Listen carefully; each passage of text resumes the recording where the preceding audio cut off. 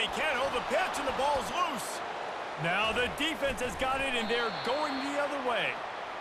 Man, and it was just the impact of the hit that dislodged the football from the ball carrier. There was a heat-seeking missile coming in there, and he knocked that thing loose.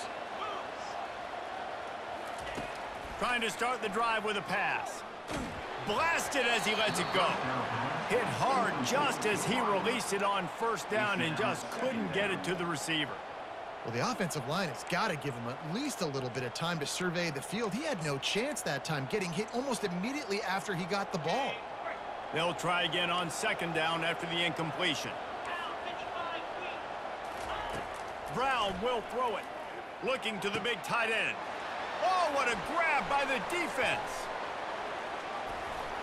And with the interception, he'll take it all the way back.